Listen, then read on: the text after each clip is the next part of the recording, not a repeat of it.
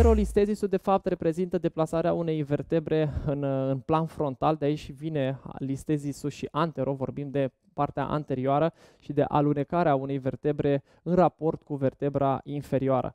Motivul pentru care acest lucru se întâmplă, așa cum vă spuneam, este dat în principal de kilogramele suplimentare pe care mulți dintre noi le avem și ar trebui să scăpăm de ele, pentru că o, un, un număr de kilograme optim, o greutate optimă, de departe, de cele mai multe ori reprezintă una dintre cele mai bune conduite terapeutice pe care o putem uh, adopta. În plus de asta, uh, raportul muscular local pe care îl, îl avem este cel care ne poate uh, favoriza alunecarea acestei vertebre sau, din contră, uh, stoparea acestora. În cazul de față, cele mai frecvente vertebre de obicei în blocul cervical sunt cele din uh, treimea inferioară, vorbim de C5, C6, C7, ele de obicei pot aluneca în plan frontal, iar motivul din nou este dat de faptul că capul pleacă foarte mult spre înainte, iar motivul pentru care pleacă capul foarte mult înainte, așa cum știți, este dat de faptul că ne ducem foarte mult spre obiectele pe care noi le utilizăm în fiecare zi. Vorbim de laptop și lucru pe care îl facem în fiecare zi și smartphone-urile în care petrecem extrem de mult timp din cauza faptului că comunicarea s-a mutat astăzi în uh, scris. Foarte puțini dintre noi mai vorbim la telefon cu prietenii și părinții noștri și foarte mulți dintre noi vorbim în WhatsApp, în Messenger și de aici nevoia de a sta foarte mult cu capul uh, aplecat. Așa cum v-am mai spus, uh, capul are o anumită greutate și ori de câte ori capul este proiectat în plan frontal, se amplifică acea greutate, lucru care evident creează o, o, o sumedenie de disfuncții localizate în trăimea inferioară a blocului cervical. Faptul că această vertebră alunecă, deci faptul că o vertebră alunecă în plan frontal, la prima vedere nu ar fi o mare problemă, însă problemele apar cu modificările uh, periarticulare, adică cu ce se întâmplă cu structurile din vecinătate. În primul rând apare o, o presiune neomogenă la nivelul discului intervertebral, care de cel mai multe ori este forțat să se adapteze și el migrează în, în lateralitate și apare o compresie la nivelul nervilor spinali, în cazul de față la nivelul uh, cervical, însă mâine veți vedea impactul la nivel uh, lombar și semnele neurologice care uh, pornesc. Cu alte cuvinte, anterolistezisul de multe ori este uh, un factor favorizant pentru herniile de disc și compresiile uh, nervoase care uh, ne generează acele uh, semne clinice care ne sperie. Vorbim de amorțeală, vorbim de furnicături care apar sau chiar deficit motor. Simțim că nu mai avem forță localizată în brațe sau avem diverse dureri care încep să le resimțim la, nivel, uh, la nivelul umorului, la nivelul omoplatului, uh, la nivelul spatelui. Am să vă rog pe cei din, uh, din producție să mă ajutați și cu o fotografie pe care am găsit-o în internet și chiar am păstrat sursa pentru a nu avea niciun fel de, de problemă cu incidența drepturilor de autor. Uh, este o fotografie în care vedeți o abordare chirurgicală, practic de cele mai multe ori anterolistezisul în forma sa finală are o abordare 100% chirurgicală, minim invazivă sau total invazivă.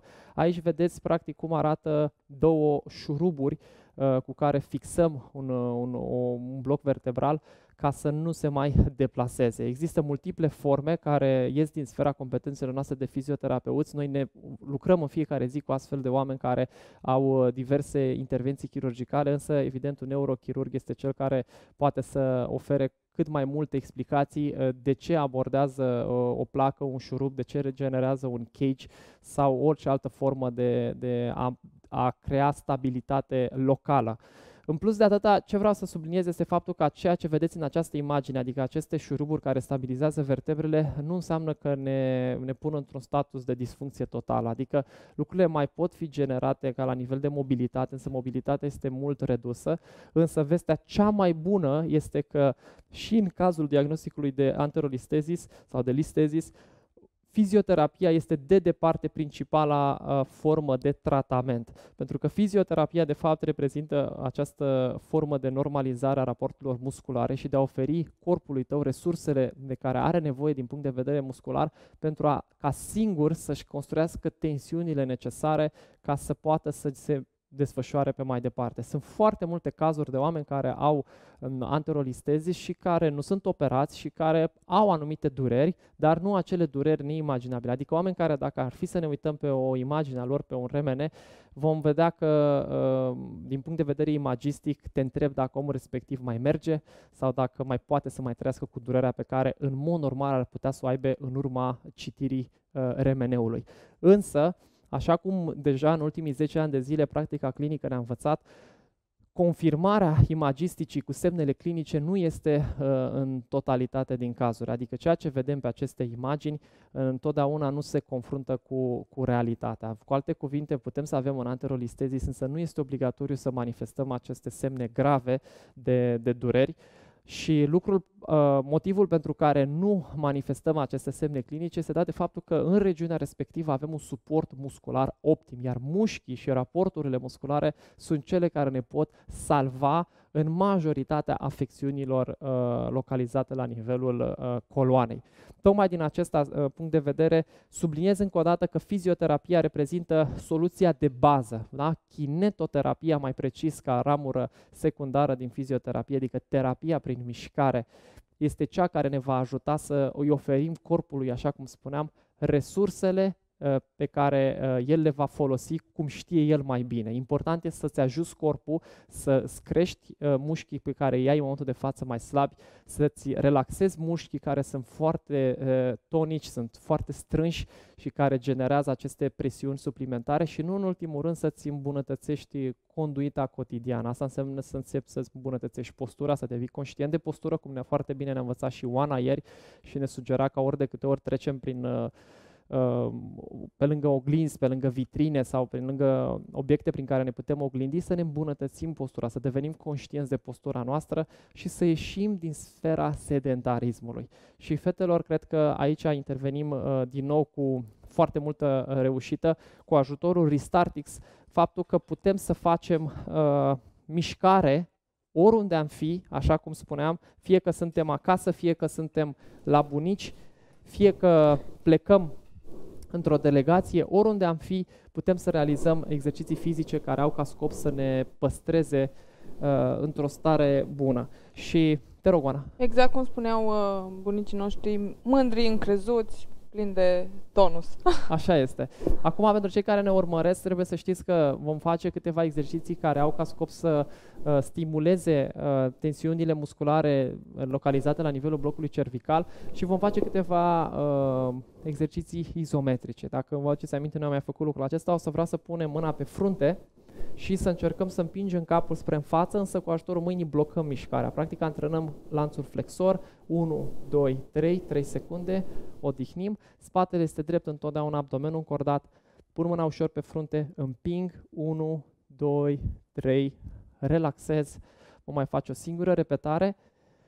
Și 1, 2, 3. Relaxez. De multe ori anterolistezis este asociat cu, așa cum spuneam, cu o limitare a mobilității, iar asta înseamnă că din punct de vedere neurologic musculatura nu mai știe cum și cât se poate să creeze tensiuni, iar atunci practic se uh, blochează. Și de asta aceste contracții izometrice sunt cele care ajută la normalizarea atât a tonusului, cât și a metabolismului, cât și a uh, reacției neurologice locale. Același lucru facem și pentru lanțul extensor, punem palma la ceafă, și de aici încercăm să împingem capul pe spate, blocând cu palma, 1, 2, 3, relaxăm, vom face încă două serii împreună, palma pe ceafă, împingem, 1, 2, 3, foarte bine, și ultima repetare, 1, 2, 3.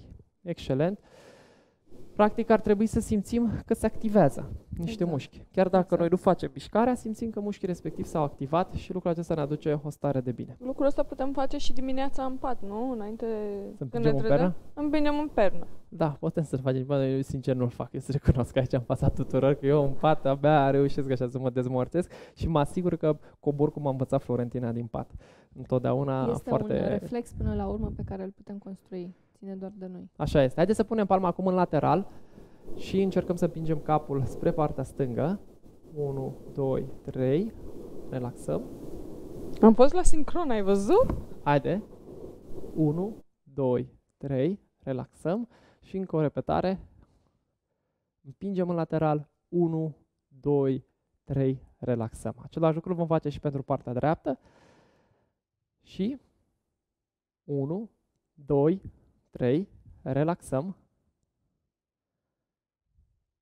1, 2, 3, relaxăm, deci împingem bine cu capul în palmă și 1, 2, 3, relaxăm. Forța cu care împingem, evident, este uh, diferită de la persoană la persoană în funcție de gradul de toleranță pe care îl avem. Ce e important este să lucrăm progresiv. Astăzi împingem pe o scară de la 0 la 10 cu de 2, mâine poate de 3 și tot așa.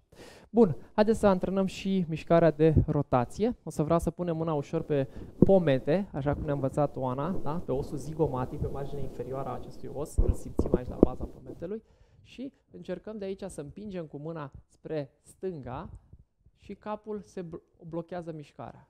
Foarte bine, relaxăm. Un pic spre stânga și nu mișc capul. O pun, nu mișc capul. Foarte bine. Și, încă o dată, mă împing în lateral, da? în diagonală, în rotație și o pun. Același lucru face și pentru partea stângă. Brațul drept, palma pe obrazul stâng. Bine. Nu lăsa. În mod normal, practic, capul ar trebui să se răsucească, da? Și noi ne blocăm. Blocăm mișcarea. Împinge cu stânga, blochezi. Foarte bine. Și ultima repetare. Împingem și, și, și, și, și, și, și, și o blochează, blochează, blochează foarte bine. Acestea au fost mișcările de bază pe care le putem face întotdeauna, exercițiile de bază, ca să activăm musculatura din uh, regiunea cervicală într-o manieră extrem de protectivă.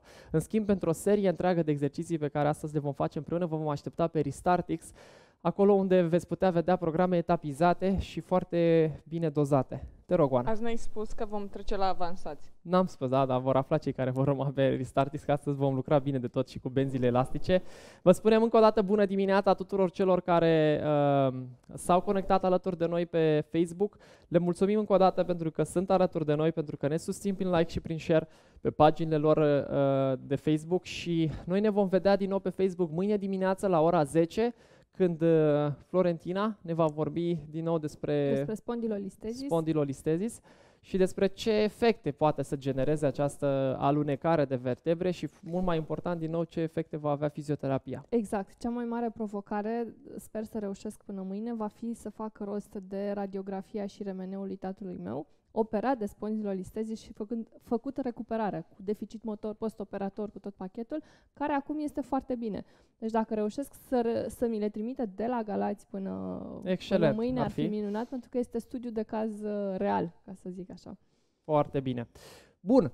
Din acestea fiind spuse, noi ne vom muta pe restartix.com. Vom munci, ca să zic Exact, așa. ne apucăm să udăm un pic tricourile, cum le spui eu fetelor Să știi că am totdeauna. niște apă. Excelent.